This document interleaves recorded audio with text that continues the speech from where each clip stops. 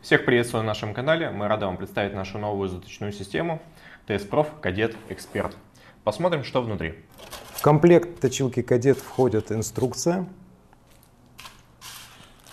набор ZIP, основание со складной дуговой стойкой,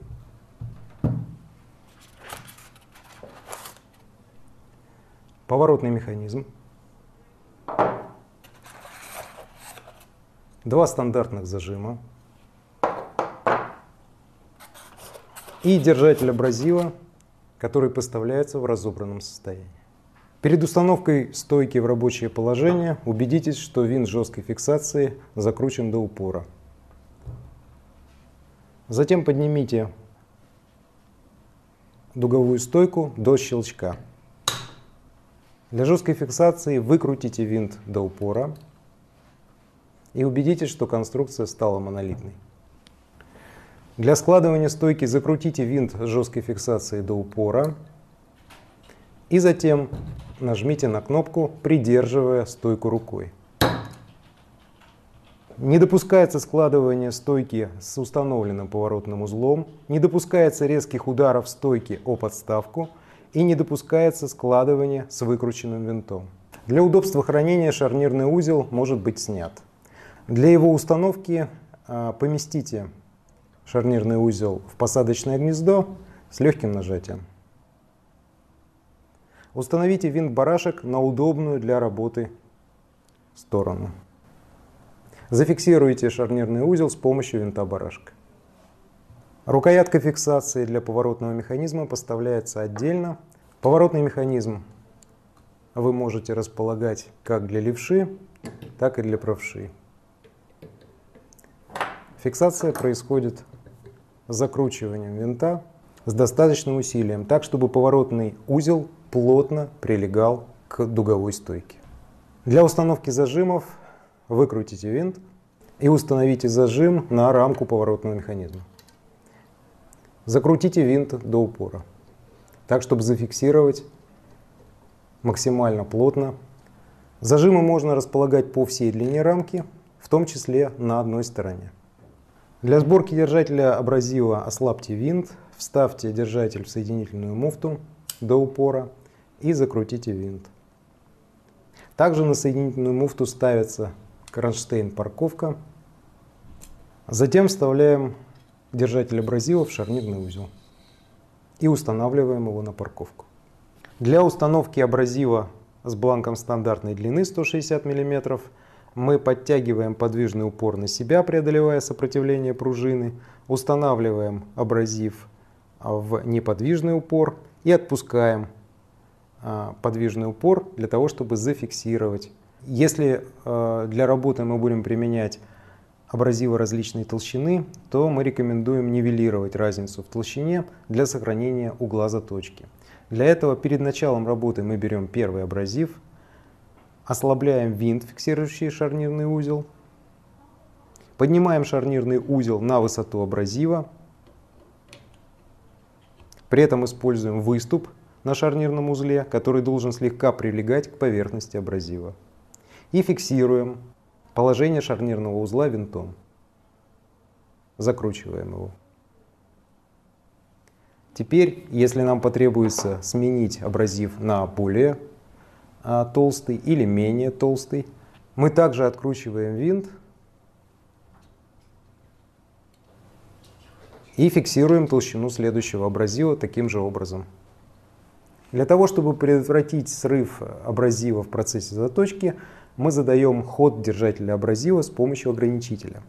Ограничитель снабжается специальным резиновым кольцом. Сначала мы надеваем его на штангу, а затем надеваем сам ограничитель и фиксируем его с помощью винта. Для установки угла заточки необходимо ослабить винт и переместить поворотный узел по стойке до совмещения указателя с нужным значением угла по шкале углов заточки. После этого мы затягиваем винт для прочной фиксации поворотного механизма. Обратите внимание, что на складной дуговой стойке имеются условные обозначения. Они показывают те углы заточки, которые необходимы для различных видов ножей. Более подробно вы можете увидеть их в этой таблице. Обратите внимание, что значения, представленные в таблице, соответствуют вылету ножа в 17 мм от края губки. Для предотвращения повреждения ножа в зажимах мы оклеиваем его малярным скотчем.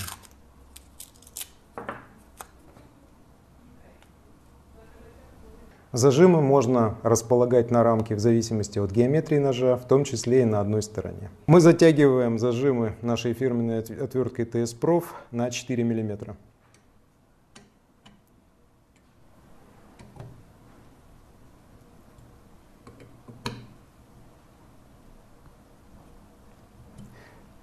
Затягивать надо достаточно плотно для того, чтобы нож фиксировался максимально жестко. Вот он надежно зафиксирован в зажимах. При этом важно не перетягивать винты, чтобы не допустить выгибания губок в обратную сторону. При этом необходимо помнить, что зажимы должны плотно прилегать к ножу и не иметь зазора. В зависимости от сферы применения ножа вы можете самостоятельно выбрать угол заточки. Сейчас на экране вы видите таблицу с рекомендуемыми углами заточки. Вы можете поставить видео на паузу и внимательно ознакомиться с ней.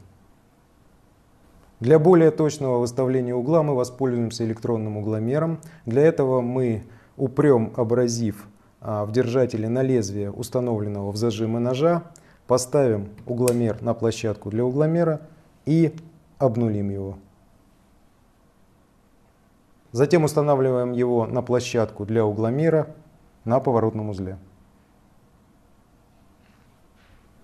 И плавно перемещаем по складной дуговой стойке до того угла, который нам нужен. Затем мы снимаем угломер с площадки для угломера и можем приступать к заточке.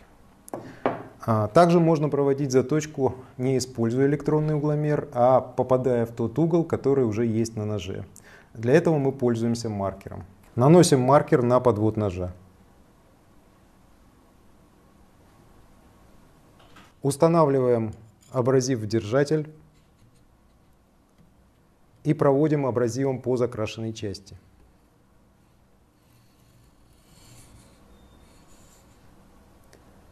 Затем нам надо отрегулировать угол таким образом, чтобы при одном движении абразива маркер стирался полностью с закрашенного участка. После того, как мы попали в угол заточки, мы зафиксируем поворотный механизм с помощью винта. Для того, чтобы камень во время заточки не уходил с ножа, мы регулируем ограничитель по крайней точке. Для этого мы сдвигаем его к шарнирному узлу и фиксируем винтом. При заточке работаем всей длиной камня до образования заусенца на обратной стороне. Для контроля заточки используем лупу или электронный микроскоп. После образования заусенца необходимо перевернуть нож. Для этого мы используем рычаг. Тянем его на себя, затем переворачиваем нож на 180 градусов и затягиваем рычаг. Будьте особенно осторожны при перевороте ножа. И продолжаем заточку.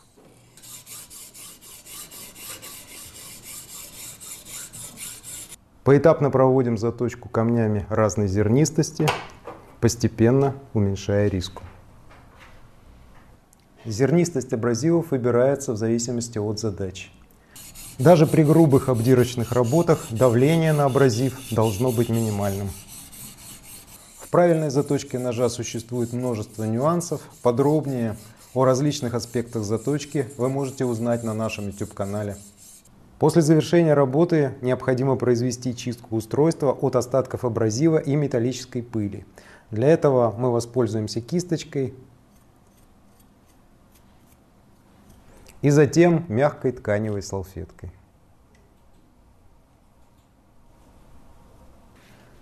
Для исправной работы устройства необходимо периодически смазывать трущиеся поверхности индустриальным маслом. Храните устройство в штатной упаковке или в защищенном от пыли месте при температуре от плюс 1 до плюс 40 градусов. Допускается транспортирование всеми видами транспорта при температуре от минус 40 до плюс 50 градусов. В случае транспортирования устройства при отрицательных температурах его использование допускается только после нахождения в течение не менее трех часов при комнатной температуре. Гарантийный срок на изделие составляет один год с даты продажи, но может быть расширен. Спасибо, что выбрали наши заточные системы, а заточку этого ножа смотрите в следующем выпуске. Подписывайтесь на наш канал, ставьте лайки и вступайте в нашу группу ВКонтакте. Thank you.